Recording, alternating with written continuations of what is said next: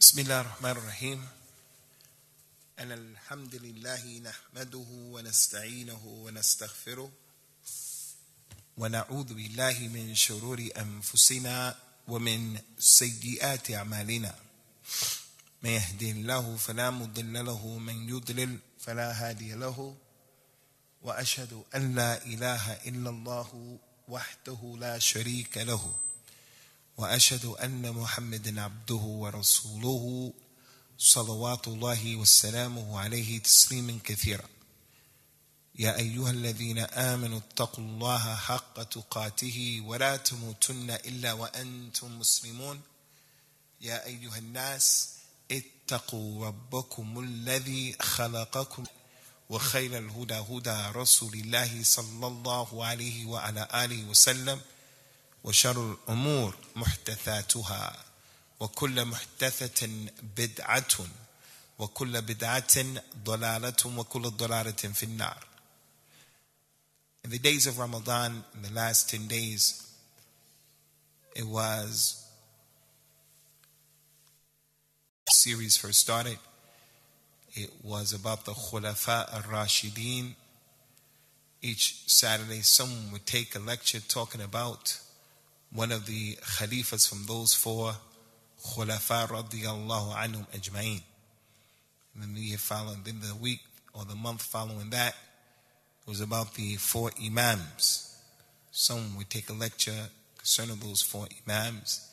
And then in the month of Ramadan, there was a four part lecture series based on the dua of the Nabi sallallahu alaihi wasallam. The first three weeks, the first three Saturdays of Ramadan, they were dealt with. And the last week was not dealt with because it fell in the last 10 days and the management of the masjid felt it was not going to be ample time to do justice to the topic since the topic was so vast and there were so many things to be covered and the short amount of time after the salat of a tarawih and the other prayer that the people prayed here. The dua is a statement of the Prophet sallallahu alaihi wasallam that came in different formulas and in different ways. One of the formulas is what was collected by Imam Muslim, and it's not the beginning of the dua, but it's the middle part of the dua. But inside of the dua, he says sallallahu alaihi wa ala wasallam and he was given the Jawami' al-Kalim. The Jawami' al-Kalim. We stick to his qunut and what he said in the qunut, and we stick to his dua because he was given the Jawami' al-Kalim. The things that he said, they were the best things to be said. As a result of that, when the Bedouin man came and he wanted to learn the dua of the Prophet wasallam, and there were a lot, he said, Ya Rasulullah, I don't have the ability to memorize all of these dua that you're saying and all of the dua that your companion Mu'adh ibn Jabal is saying as well. May Allah be pleased with him. And Mu'adh ibn Jabal, he was from the ulama of the companions. So he had the qudra and he had the imkaniya, the ability and the power to memorize. So the man Nudandan ana wa Mu'adh. Me and Mu'adh in our dua, the many things that we say, we are gravitating around the things that you just mentioned. So if the person were to say that general dua, Allahumma inni as'aluka khayra ma sa'alaka abduka wa rasuluka Muhammad sallallahu alayhi wa sallam wasta'idhu bika min sharri bika bihi abduka wa rasuluka Muhammad sallallahu alaihi wasallam, Allah, I ask you for all of the good that your messenger and your prophet asked you of. And I seek refuge in you from all of the evil that your prophet and your messenger sought refuge in you from it. The Prophet said to that companion, This thing that you're saying, this is what me and Mu'adh are around. So if a person finds it difficult to memorize all of the dua or he hasn't done it yet, but he has the goal and the objective to do it, then that simple dua, something that he should inculcate within his dua. Because he's asking for everything that the Prophet asked for. And he's seeking refuge of the evil of everything that the Prophet sought refuge in concerning the evil of Allah's creation. Sallallahu Alaihi Wasallam.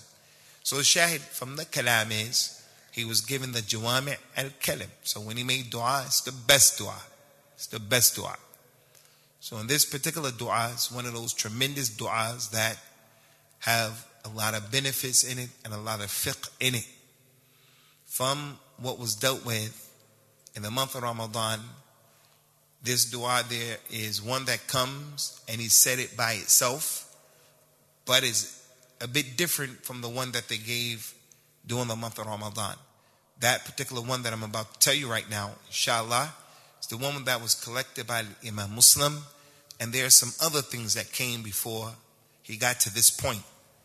And what he says, sallallahu alaihi wasallam, and what was dealt with is the statement, Allahumma inni a'udhu bika min ilmin la yanfa' wa min qalbin la yakhsha nafsin la tashba' wa min da'watin la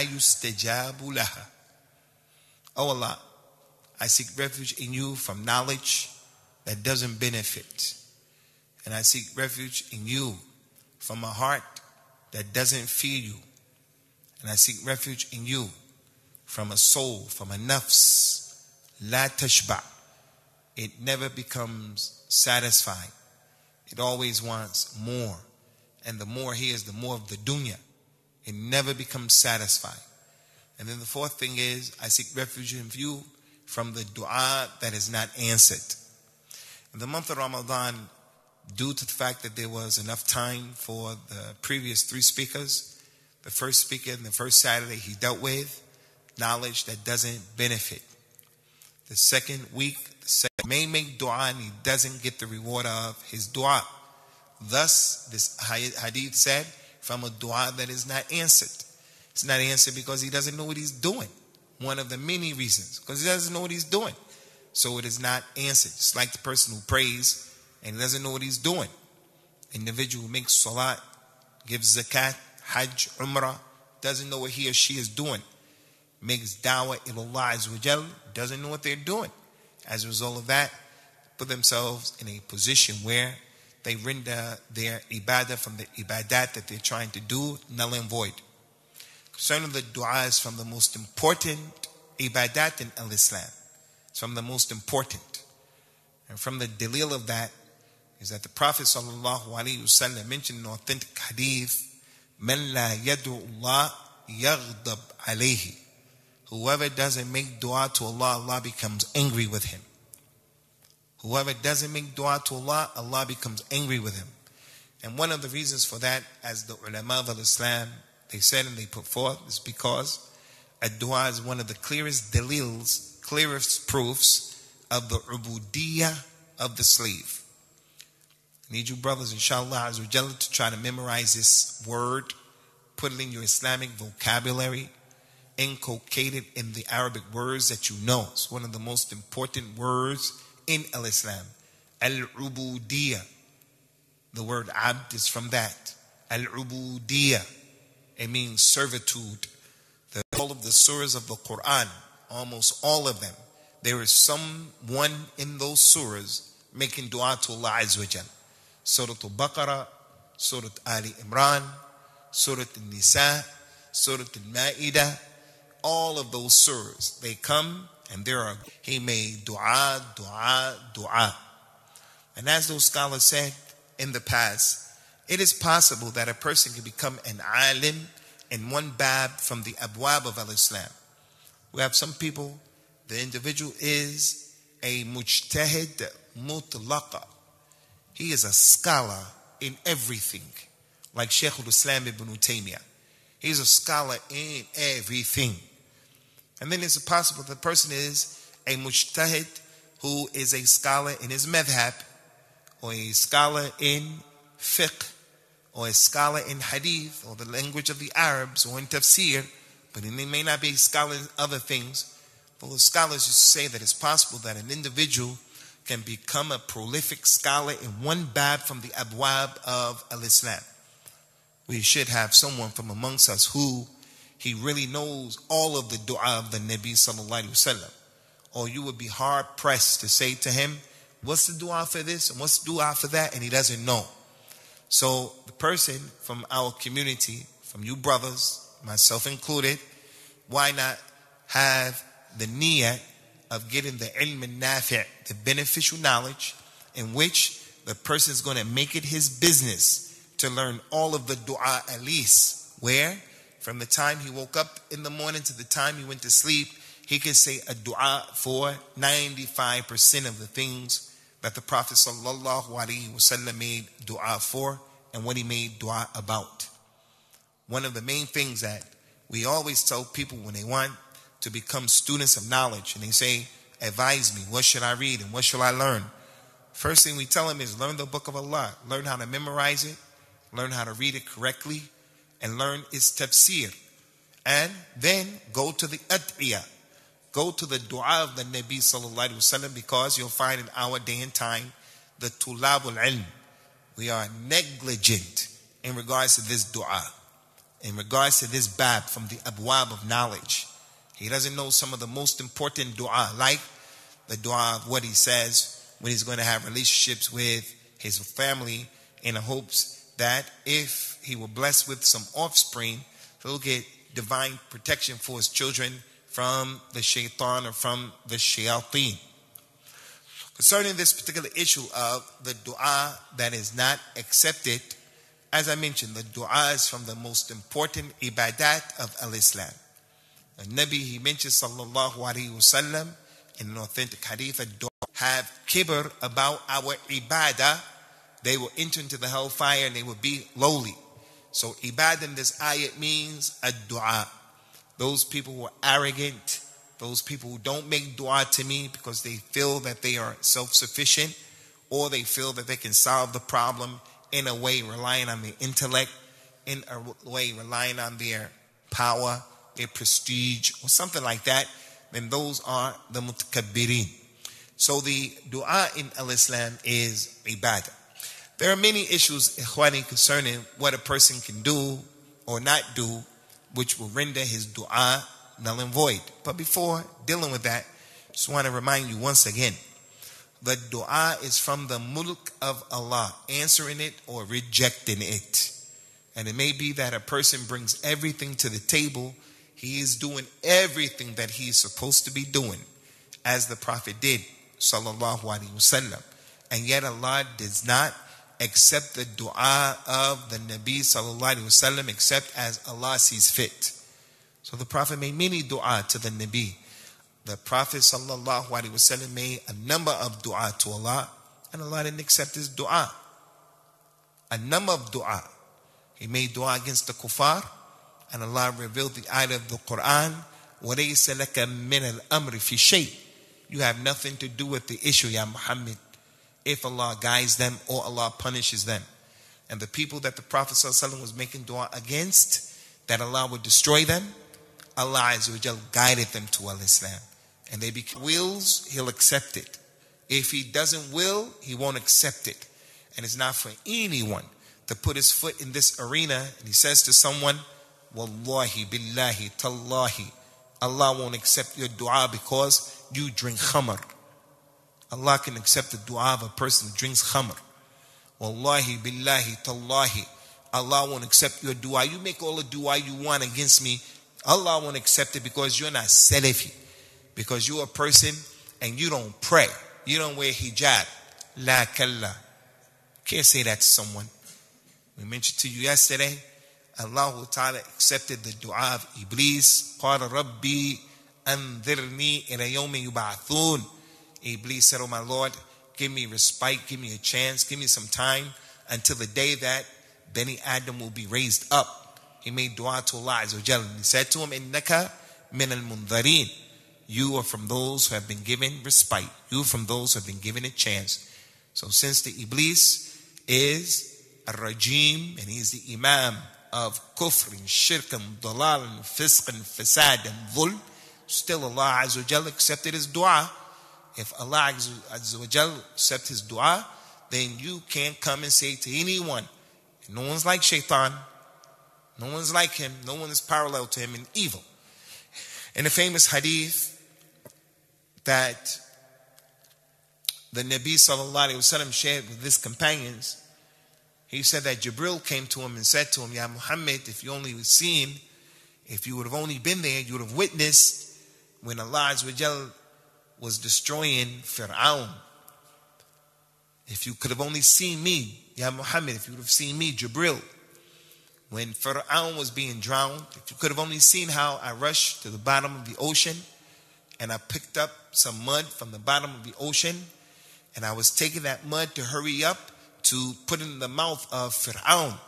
Because in the Quran, Fir'aun made a dua and he asked Allah Ta'ala to guide him and to forgive him for what he had done up until that point. He gave he gave Musa, Harun, Ben Israel a lot of problems. And then he said before getting drowned, I believe in the Lord of Harun and Musa. I believe now. So before he made his complete dua, Jibril said, I hurried up to the bottom of the ocean and I went and I put that bob, that, that stuff from the bottom of the ocean in his mouth. Rahmatullah. I was afraid that Allah's rahmah was going to hit Fir'aun. So that shows a lot of things. It shows one thing we shouldn't give up and we shouldn't despair of the rahmah of Allah, nor should we close the door of the rahmah of Allah on people, not to mention our own selves. But it also goes to show that even Fir'aun, like Iblis, Jibril, with all the knowledge that he had, he knew Azrael can answer the dua of Pharaoh. After all what he did, he made Tawbah at the last moment, and Iblis, uh, for, uh, Jibril didn't want that to happen. So concerning the issue of ad-dua, what are the things that are there that an individual can do or that he may not do that can cause his dua to be rejected? And there are many things Many things that he can do to cause his dua to be accepted. And many things that he can do to cause his dua not to be accepted. Because the asl, the origin of things is if you do the right thing, your dua will be accepted. Allah Azza wa mentioned in the Quran, وَإِذَا سَأَلَكَ عِبَادِي عَنِّي فَإِنِّي قَرِيبٌ أُجِيبُ دَعْوَةَ الدَّاعِ إِذَا دَعَانِي فَلْيَسْتَجِيبُوا لِي وَلْيُؤْمِنُوا بِهِ Ya Muhammad, if my slaves, your followers, Bani Adam from the Muslimin, if they want to know about me, if they ask you about me, then tell them I'm close to all of them. They don't need any middleman. And the ulama of Islam said about this ayat, I bring to your attention, all of the ayat of the Quran, every single ayat of the Quran, with the exception of this ayat, and this is from the treasures of the Quran, every single ayat of the Quran, وَيَسْأَلُونَكَ عَنَ الْأَنفَالِ they ask you about the spoils of war. Yes, alunaka anan mahid. They ask you about the woman's period. Well, yes, alunaka madha yunfiq. I'll answer his call. But the condition is let them believe in me and let them answer my call. Scholars of Islam, they said the meaning of that is let them practice the religion. Let them do what I told them to do. Let them avoid what I told them to avoid. The ayat of the Quran, in tansurullah yansurkum wa yuthabbit aqdamakum. If you people help Allah, Allah will help you and He'll establish your feet firmly. The great scholar and mufassir of the Quran, Imam al-Suddi, in the book of Tafsir, Al-Bahr al-Muhit, he said the meaning of this ayat, if you help Allah, Allah will help you. If you practice the religion, Allah will answer your dua. Allah will help you by answering your dua.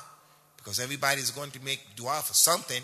He needs money, he needs good health, he needs transportation, he needs a door to be open, he needs to be forgiven, he needs to be put into the Jannah and so forth, and so on.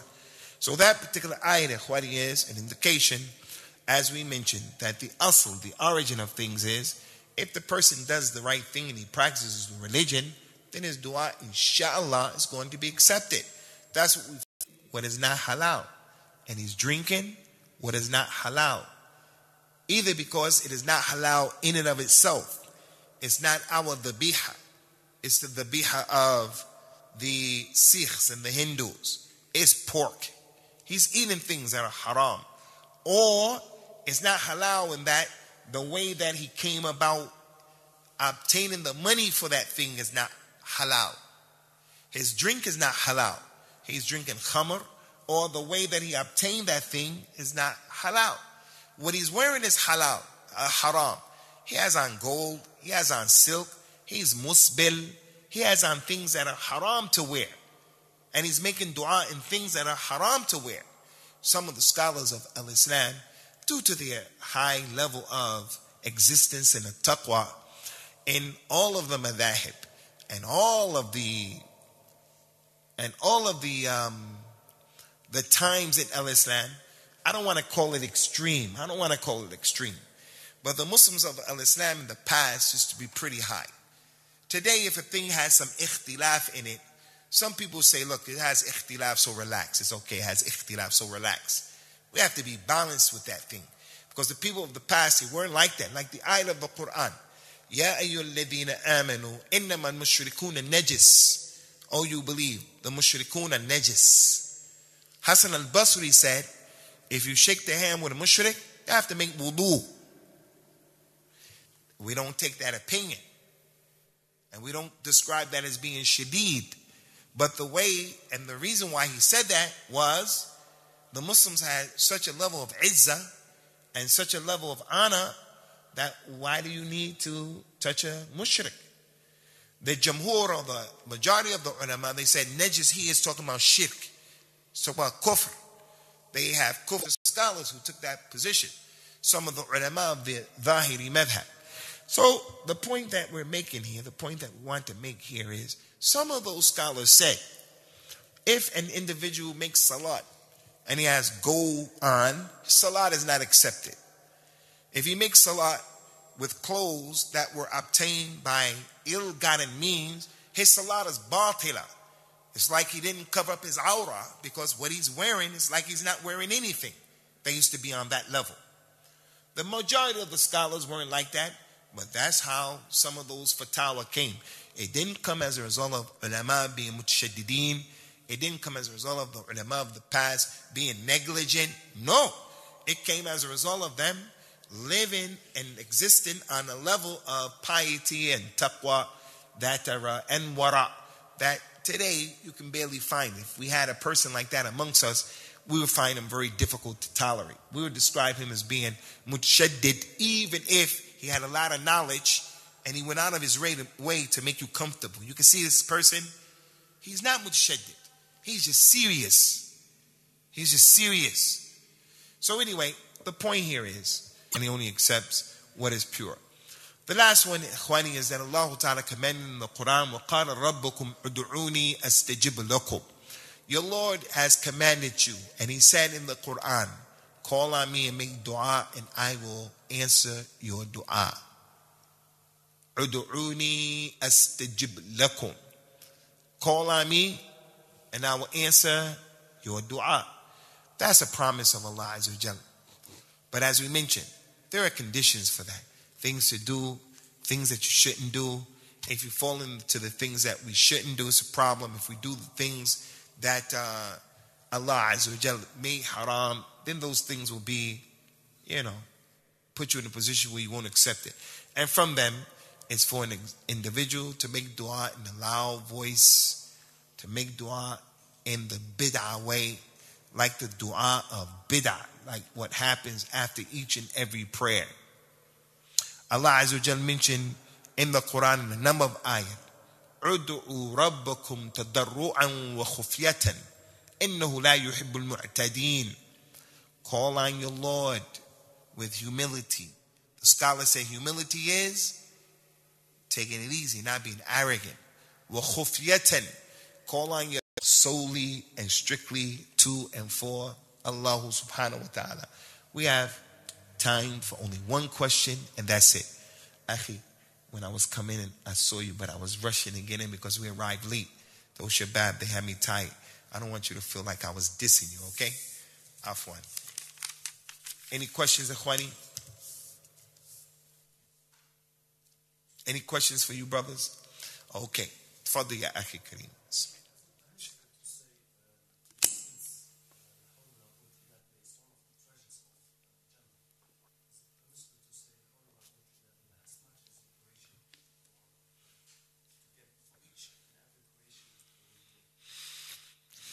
نعم لا حول ولا قوة إلا بالله is Walaikum salam. Hey, what's that? Can I have some of those, man? The Prophet sallallahu alaihi wasallam, he mentioned Subhanallah wa bihamdihi adada khalqihi wa rida nafsihi wa zinata arshihi wa midada kalimatihi. I say Subhanallah by the number of his creation, by the weight of his arsh, by the number of his words, and by the beauty of his throne and all of those things. So that goes to show the eloquence of the Nabi sallallahu alaihi wasallam how he would make that dua and say a small thing, but it's very weighty in the way that he's putting it. So if an individual to say, La hawla wa la quwwata illa billahi by the number of what is in Allah's creation, there's nothing that would prevent him from saying that in the deen. There's nothing. It's a good dua, inshallah. Any more questions? Okay, Ikhwani, what about the uh, kitab or the issue that you brothers want to deal with, inshallah, on Tuesday and Wednesday since we are outside and we're done with the Ramadan? Abdul Qadir. Anybody else? Akhi, tfaddal. Anybody else?